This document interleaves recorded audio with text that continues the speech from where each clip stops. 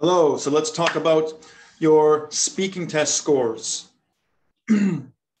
Each speaking test is worth 20%, the midterm and the final. That's 20 points each. You will have one or two partners. Most of you will just have one partner.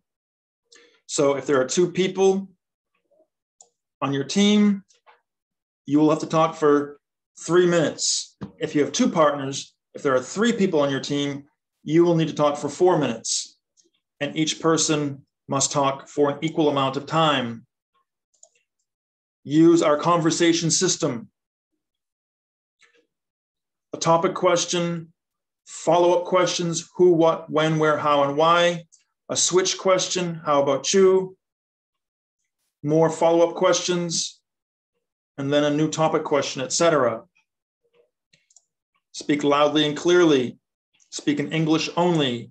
Don't speak in Korean or any other language. So again, it's 20 points. That's five points for your conversation. Talk about the topic. Have a real conversation for three or four minutes in English only. Five points for your pronunciation. Speak loudly and clearly five points for your vocabulary, use words related to the topic, and five points for your grammar, speak correctly in complete sentences for a maximum possible score of 20.